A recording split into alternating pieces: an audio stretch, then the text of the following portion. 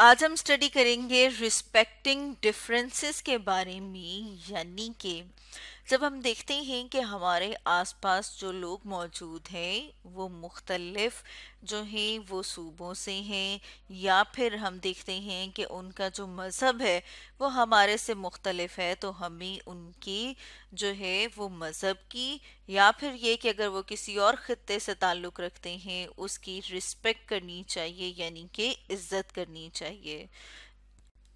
जैसा कि अगर हम अपने मुल्क पाकिस्तान की बात करें तो हम देखते हैं कि पाकिस्तान के चार सूबे हैं। जैसे कि यहाँ पर हम अपने सामने इस तस्वीर में देख रहे हैं कि मुख्तलिफ़ सूबों से ताल्लुक़ रखने वाले लोग जो हैं, वो दिखाए गए हैं। जैसे कि हम देखते हैं कि जो बलूचिस्तान से ताल्लुक़ रखने वाले लोग हैं, उनका लिबास जो है वो इस तरह का होता है, जिसमें हम देख रहे हैं कि वो जो सर के ऊपर पगड़ी बांधते हैं, उसको फिर इस तरह से आगे से लेकर आते हैं।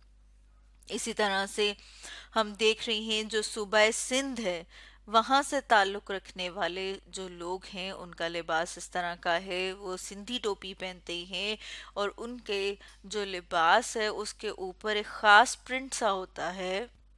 जैसे कि यहाँ पर हम देख रहे हैं, जिसे कि अजरक कहा जाता है, जिसे आप देखा होगा कि सिंधी जो लिबास है, उसमें ख़ास किस्म का एक डिज़ाइन होता है। इसी तरह से अब अगर हम बात करें, जो लोग सूबा पंजाब से ताल्लुक़ रखते हैं, उनकी अगर हम बात करें तो हम देखते हैं कि वो ज़्यादातर जो है, वो धोती बांधते हैं, जैसे यहाँ पर है और उसके ऊपर कमीज़ पहनते हैं। और ये जो सर के ऊपर पगड़ी पहनते हैं, ये हम देख रहे हैं कि इन दोनों से थोड़ी सी मुख्तलफ है।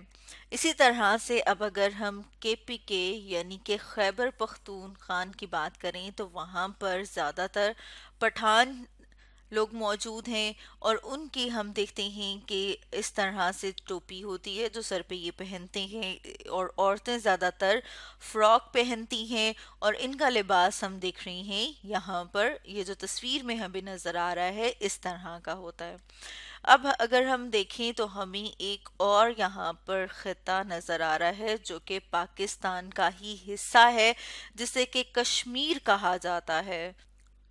जैसे कि यहाँ पर हम इस तस्वीर में देख रहे हैं कि यहाँ पर जो लोग मौजूद होते हैं, वो लंबे लंबे से गाउन की तरह के कपड़े पहनते हैं, जो ज़्यादातर यहाँ पर हम देख रहे हैं कि इधर से लेके इधर तक आ रहा है, जैसे यहाँ पर हम देख रहे हैं।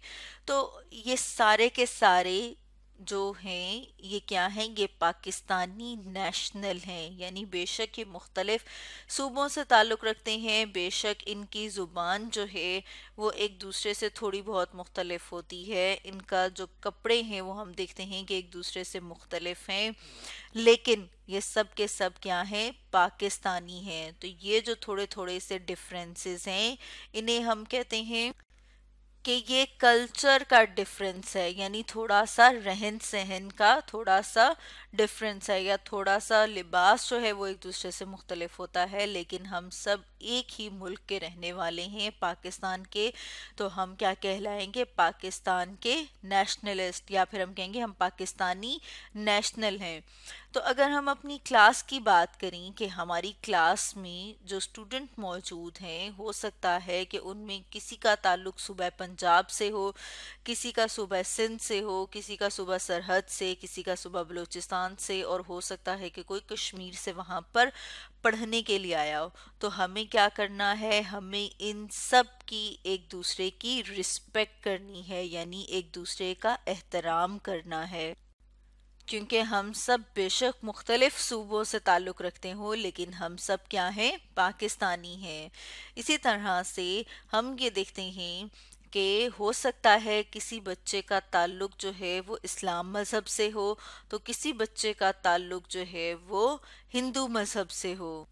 यानी कि ये एक डिफरेंस भी हो सकता है।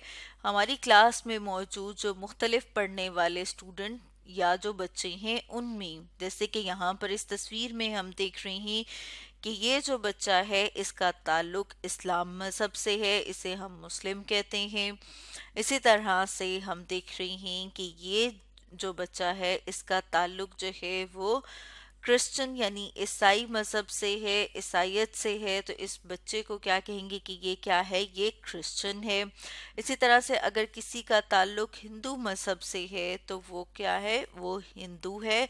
लेकिन अगर किसी का ताल्लुक सिख मज़हब से है तो उसे हम क्या कहते हैं कि वो क्या है? वो सिख है। लेकिन इन सब जो है वो डिफरेंसेस के बावजूद, यानी कि अगर कोई मुसलमान है, कोई हिंदू है, कोई क्रिश्चियन है या कोई सिख है, हमें इन सब की इज़्ज़त करनी चाहिए, इन सब की रिस्पेक्ट करनी चाहिए। यानी कि हमें किस बात का ध्यान रखना चाहिए, हमें इस बात का का ध्यान रखना चाहिए कि हमें जो है वो हर दूसरे इंसान की इज़्ज़त करनी है रिस्पेक्ट करनी है, चाहे वो हमें अपने आप से थोड़ा डिफरेंट या मुख्तलिफ़ लगे।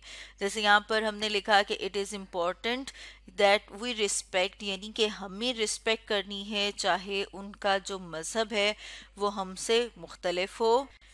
या फिर ये कि बेशक उनका जो कल्चर है वो हमसे थोड़ा सा मुख्तलिफ़ हो या वो थोड़ी सी हमसे मुख्तलिफ़ ज़ुबान बोलते हो, लेकिन फिर भी हमें क्या करना है? हमें उन सब की रिस्पेक्ट करनी है, उन सब की इज़्ज़त करनी है। तो स्टूडेंट्स, आज हमने डिस्कस किया रिस्पेक्टिंग डिफरेंसेस के बारे में।